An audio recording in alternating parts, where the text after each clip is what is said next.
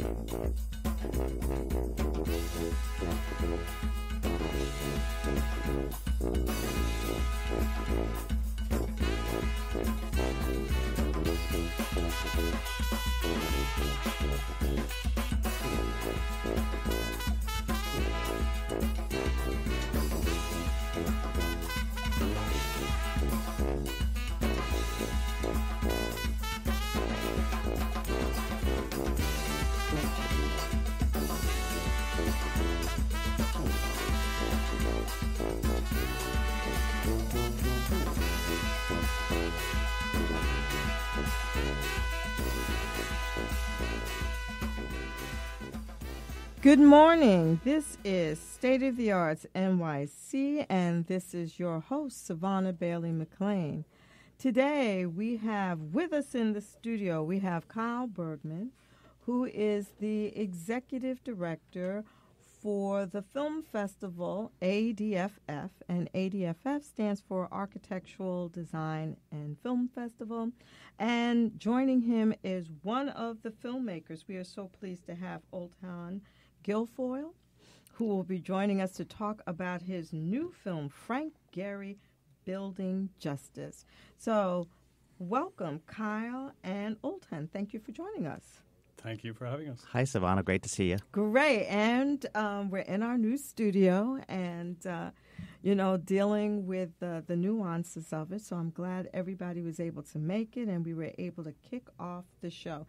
So now, um, Kyle, why don't you tell us a little bit uh, about your film festival? Now, I, I know that you have been a real believer that there's this blend between architecture and and film, and uh, and you've been promoting this for quite some time. You've also been involved with various institutions. I believe one of them is called the um, Pacific Rim Park Organization. Mm-hmm. So you've really been engaged with all of this for quite some time, the architectural world. So tell us what motivated you to really uh, make this a reality.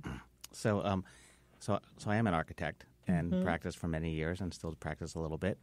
Um, but a number of years ago, uh, as architects, we talk to ourselves all the time, and it's a super interesting conversation. Mm-hmm. But what we're not so good at is expanding that conversation to a broader audience. All right. And uh, film is a great way to do that. And so, um, almost about 2000, I started thinking about this project, and we launched it in 2009. So this will be our 10th year. Okay. And now it's the largest film festival in the world about architecture and design. And we do Oh. it in New York, uh, Los Angeles, D.C., New Orleans. Uh, this year we're going to add Vancouver and Oh, Athens, Greece. nice. Yeah. So it's uh, it's um, and it's, what we do is we show usually we we preview about 300 films a year, all on about anything connected to architecture and design, and then we select 25 to 30 or so, and we put those together in a film festival. And this year it's October 16th through 21st in Chelsea, and uh, we're really we have a great selection of films, Mm-hmm. and uh, we're super proud to be having the world premiere of Ultan's film uh, Frank Gehry Building Justice, which is um, really it's a typical kind of ADFF film. It both has a design story, so Mhm. anyone coming from the professional design background would be interested, but also it has a human story. Okay. And we're really, what's important for our selection is not just to get boring architecture films, but to get the films that are really interesting to a wide variety of people that have both that design and and human story. And uh, Ultan's film is just perfect example of what we uh, typically show. All right, but it's also the subject matter too. And and Olton, I want you to you know jump right on in because this film that focuses on Frank Gehry also deals with a very touchy subject here in this country, and that's dealing with uh, prison design and how to improve it and. Uh, what made uh, Mr. Gehry decide to do this, and what made you decide to film him showcasing this studio, or I should say, two studios about this issue? Yes, well, you're absolutely right that um, it does touch on this design, uh, this Mm-hmm. issue of incarceration in the United States, and there have been many films about incarceration in America. Most notably, um, Thirteenth, which was a great film about um, Ava DuVernay's film about um, the whole policy issue of of mass incarceration in this country, how it's been a policy issue for 50 years. But um, but our film, Frank called me and said he was approached by the Open Society Foundations, Okay. um, who are involved in social justice um, issues around the world. yes, they are. And they he, they wanted him to look at prison design, jails and prisons, as a as a way of imagining a future of low incarceration in this country. What would the prisons look like? And so, since he would never himself, he'd be the first to admit he would never get a commission to design a prison, Right. because he's not the kind of architect who designs prisons, and, and nobody would ever ask him. He thought the best, of, uh, best, uh, most long-lasting effect he could have on this issue would be to get the conversation started in the schools, and so the architecture schools in, in the United States, and so he, because of his relationship existing with SCI-Arc, the Southern California Institute of Architecture in Los Angeles, one of the leading architecture schools on the West Coast, and Yale University, the School of Architecture at Yale, one of the leading institutions in the world uh, on the East Coast. He thought if he did two programs there, two studios, it would get a conversation started and it would initiate into the curriculum, the architecture curriculum generally, a conversation about social justice, ju- justice issues, but particularly issues around incarceration. So, so he called me, asked me was I interested in making the film, and I've worked a lot with Frankie over Right. thirty years, and I said I never say no to Frank Gehry. so, um, so I said yes, and we embarked on this program, and we followed his studios, um, and that's the story we told. Now, um, when he was asked by imp- uh, by the Open Society Foundations, Frank w- said, "Well, I know nothing about incarceration, so you got to help me out here." And so they put him together with two people. One was Susan Burton. Susan Burton is a remarkable woman in Compton, in Los, South Central Los Angeles. Wow. She's a formerly incarcerated woman over a span of 20 years who, when she, um, uh, you know, fa- thought about this issue and, and particularly about how women, the, the tough situation they find themselves in when they re-emerge into society. She thought that's their biggest problem is, you know, you get incarcerated for whatever, you know, and there are many reasons why you might get incarcerated in this country, particularly for a woman of color. Right. Um, but you get incarcerated, that's one issue. But what happens when you get out? So she started a thing called a New Way of Life Reentry Projects. First, by taking women literally from the bus stop and bringing them into her own home because they had no safe places to go. They were thrown out on the street with a plastic bag and five dollars maybe, and put on a bus and sent somewhere, often nowhere. You know, their families were dispersed or whatever might their situation might be. So she started this um, this uh, organization called a New Way of Life. But most particularly, she's active in the area of incarceration daily. She's dealing with people who are incarcerated and or recently incarcerated every single day of her life. And so so Frank thought that she would be a perfect woman to collaborate with because she really understood the issue on the on the inside. Okay. Um, at the same time, uh, he met with Alex Busansky at Impact Justice. They're a, an incarceration and social justice um, organization in Oakland, California, who deal with incarceration and deal with the issues around poli- policy issues around incarceration and how they might be somehow ameliorated over time. And so, between all of these people, they advised Frank on setting up these studios, and that's what our film is about. So, um, I mean, because this is a very touchy subject, to say the least, because it looks like the prison systems have become very corporate. So, did that ever come into the conversation? The fear that by having this renowned architect involved in at least posing the question, that there would be this concern that we would be um, uh, entrenching this whole notion that um, incarceration should be this sort of corporate sort of endeavor. So, therefore, um, instead of kind of helping people not to get incarcerated, you're actually kind of encouraging people to be incarcerated because you know there's this whole machine that goes on with incarceration people um, get in prisons they're cheap labor for other you know companies um, they charge the prisoners enormous amounts of money just to talk to families and, and friends.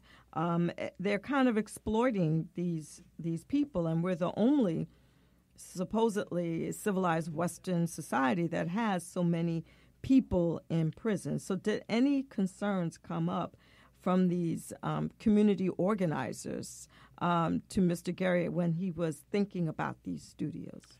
All kinds of concerns come up. Um, as James Forman um, Jr. puts it, um, James is the professor of law at Yale. He's the Pulitzer Prize winning author of the book called Locking Up Our Own, mm-hmm. which is an examination of all of the issues of around incarceration, particularly of black and Latino people in this mm-hmm. country.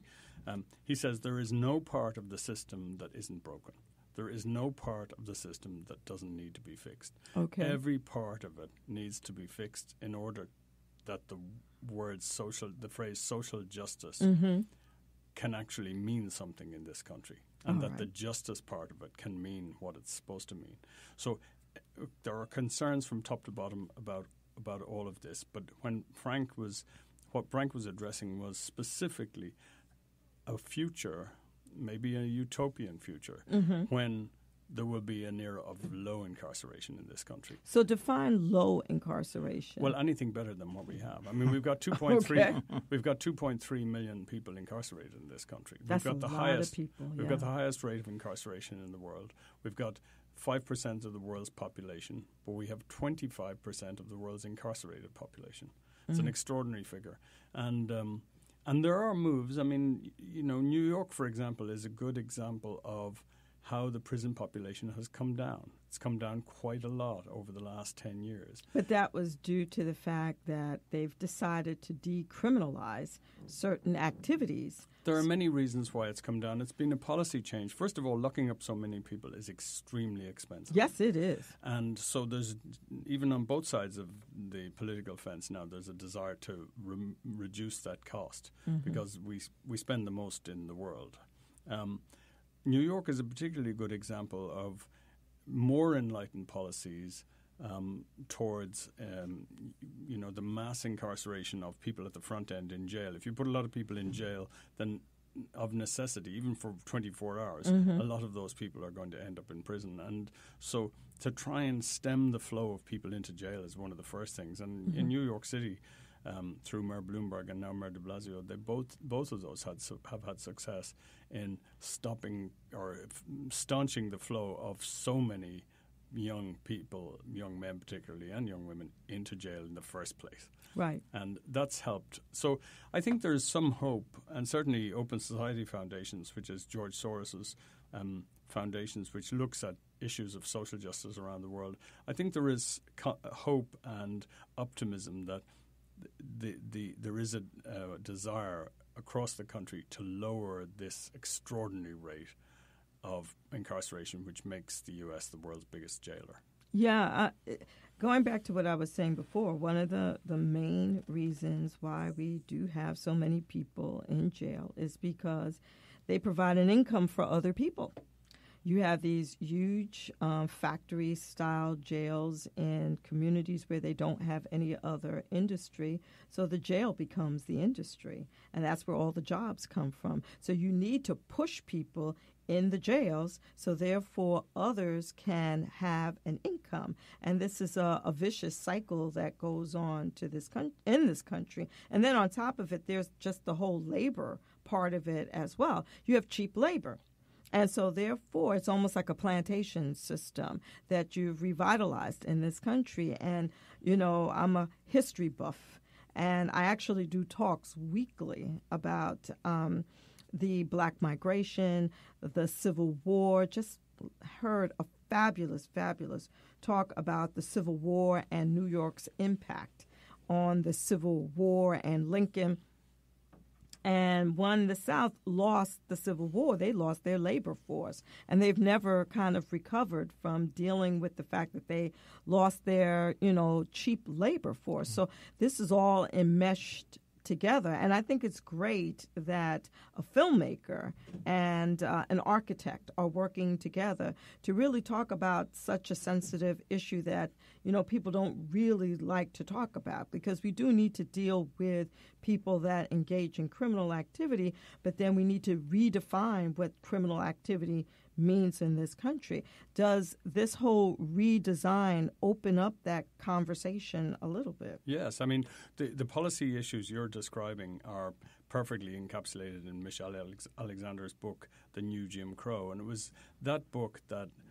Ava DuVernay made her film 13th about. Mm-hmm. Now, so that's the policy of mass incarceration in, in this country. And what we're looking at, focusing on, is if you assume that there is, which of course there is, mass incarceration, um, and you and you think you might be able to lower that number over a period of time, what are what are you going to create to replace it? And it's one thing to buy, build fabulous prisons, but on the other hand, if all you do is build fabulous prisons and you don't change the system, then you're not doing any good. So, so the idea, what we're focused on, or what our film is focused on, what Frank Gehry was focused on uh, with these two institutions, SCI-Arc in LA and Yale uh, here in Connecticut, was as a, as a as a holistic approach, you Mm-hmm. you reduce the prison populations, and then you look at some of the models of really great uh, prison systems, like Okay. the Norwegian. We went to Norway.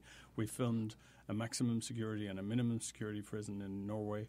Um, that's gen- they're generally regarded to be the best prisons in the world. If you have to have prisons, you have to protect people from you know doing harm. Um, or, or protect pre- people rather from having harm done to them by criminals, then th- they're a model for how that might work. And so we went and looked at that. Um, because so tell us, uh, before you go further, tell us what makes those prisons different. What Oh, makes them it's- unique? it's very simple, really. Mm-hmm. They treat people in prison, the inmates, the incarcerated people, as human beings. They have a respect for their humanity. Wow, They feel that's simple. It's that simple. They feel they look for outcomes. They when a person goes into jail or prison in, in Norway, for example, the biggest thing on their file is a date, and it might be the October sixteenth, two thousand and twenty-one. That's their release date, and everything they do is working towards that date. Wow. We don't have that in this country. No, we nobody don't. thinks about outcomes in this country, no, let alone successful outcomes in this country. So in our film, we've talked to. I mentioned Susan Burton, who runs this extraordinary um, organization for women re-entering the community, and she's had incredible success with. Um, with some of the women, um, all the women she's impacted, but we also, you know, spoke to a lot of other people. I mentioned James Forman, the law professor at Yale, who's a radical thinker about about um, incarceration. He's the son of a famous civil rights um, activist, James Forman Senior, Yeah. and uh, but now he himself is a, a, a criminal law professor who is really leading the thinking about this.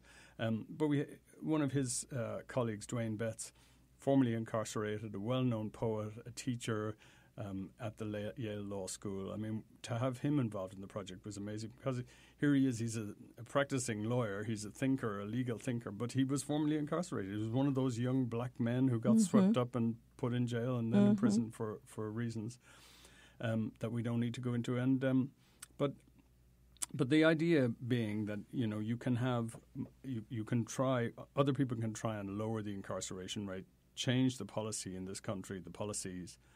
But in the end, what we have to do is make the prisons somewhat better, somewhere treat people in a humane way, not dehumanize them and um, uh, uh, uh, Punish them all the time. well, there's there are so many levels of punishment and distress and psychological abuse at every level of the system, and it doesn't just affect the prisoners; it affects the staff too. I mean, correctional officers have the highest rates of alcoholism, the highest rates of domestic abuse in, in the country. I mean, they they are traumatized themselves. So the whole system is built to traumatize people who walk into a prison.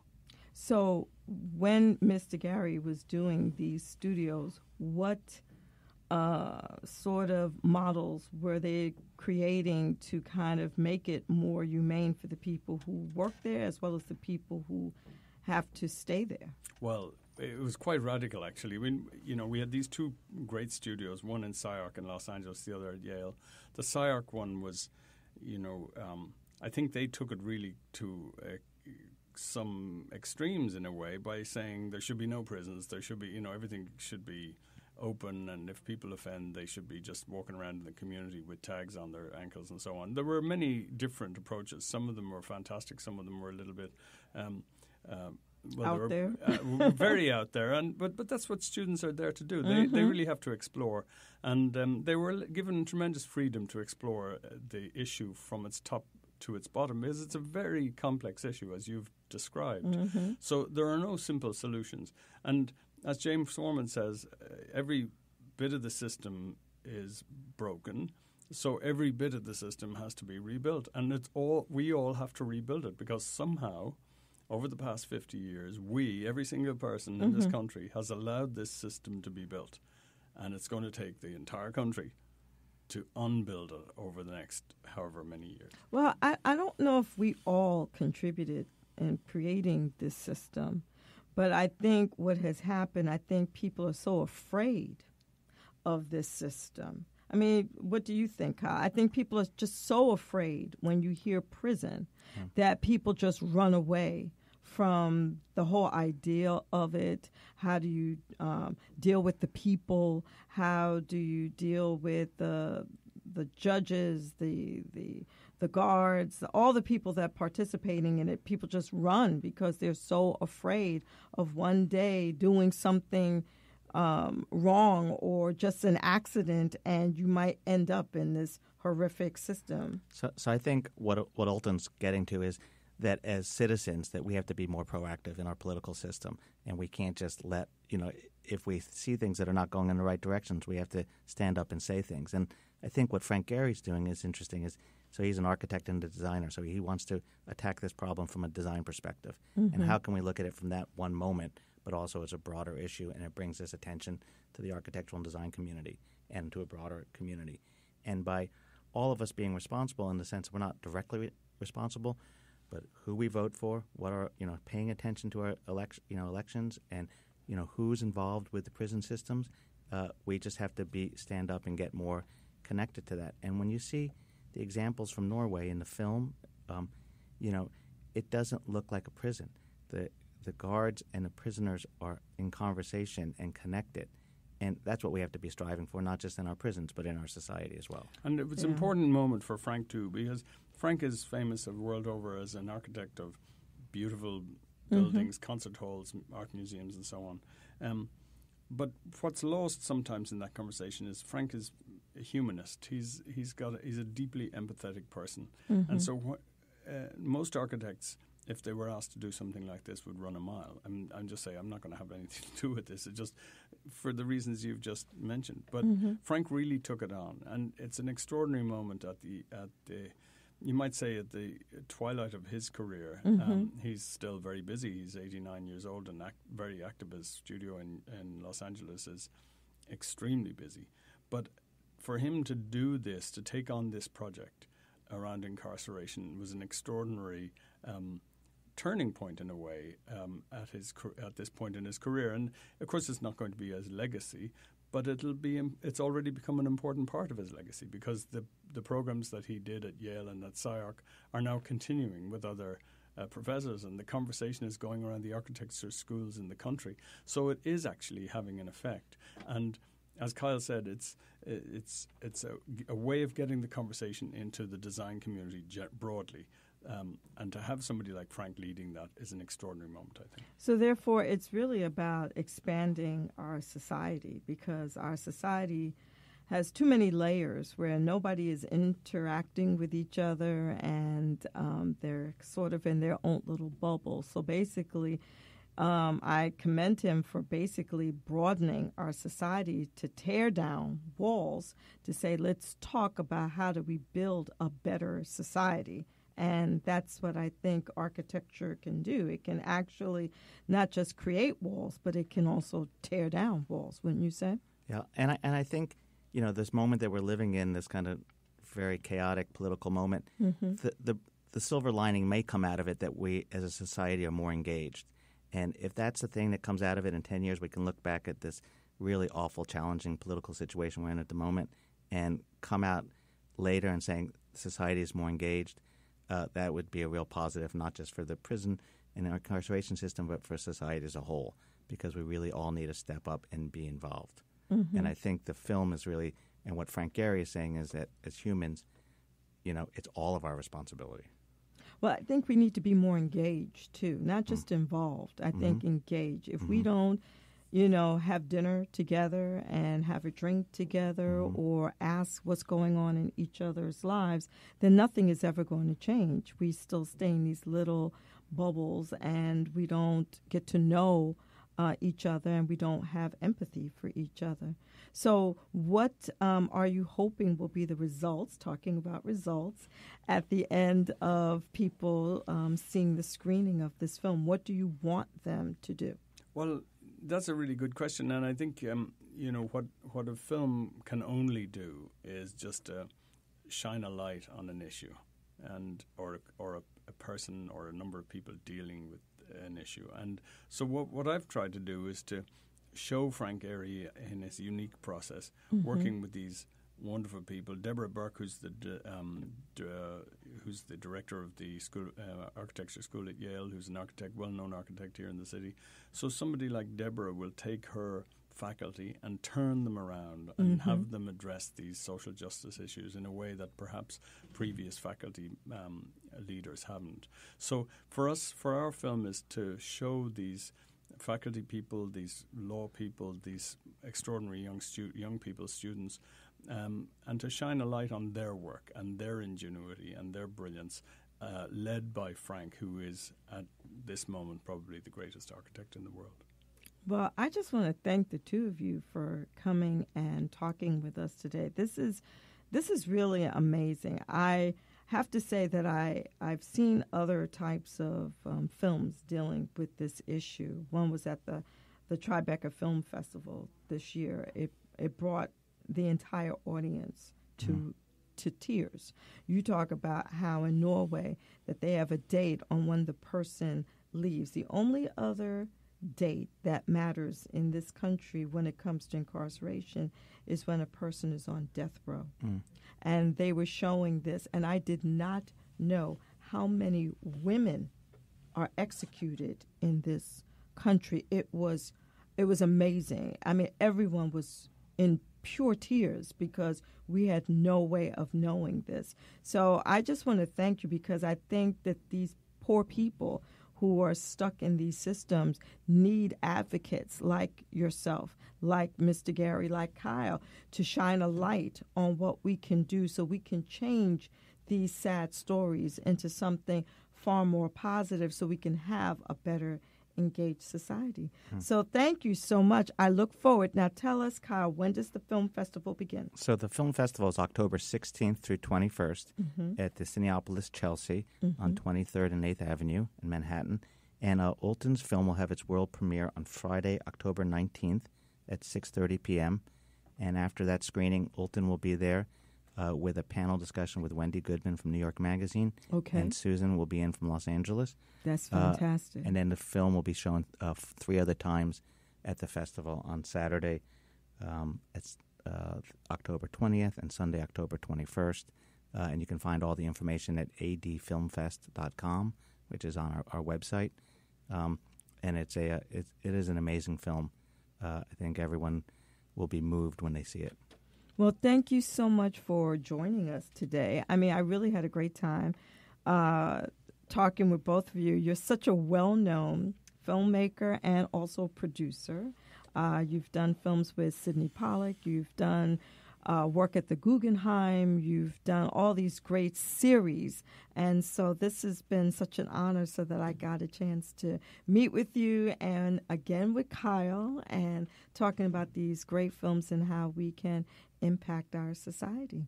The, so honor, the honor was mine, Savona. Oh, thank you so much because um, I tell you, um, what I like to do with this show is really try to show all of the arts and a behind the scene sort of uh, view so that people don't just take it for granted. Like you're saying, everyone needs to be involved. I think they need to be engaged because otherwise, how else are we going to impact our society? And right now, we need to do that more than ever. We Mm. need to change the way people think, their Mm-hmm. attitudes, and so this is um, fantastic. So thank you so much. We're going to wrap up this segment, and uh, we'll see everybody next week. So thank you so much. Thanks, Ivana. All right.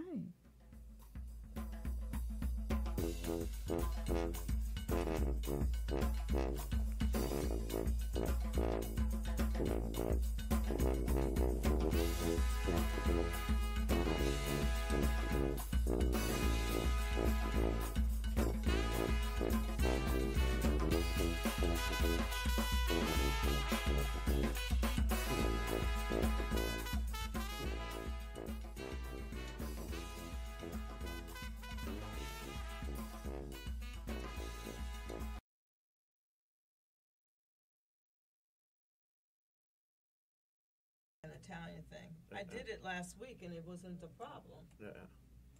Um,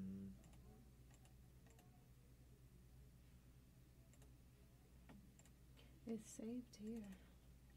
But where did it save it? It saved it into PC documents capture state of the art. So like you have a whole folder.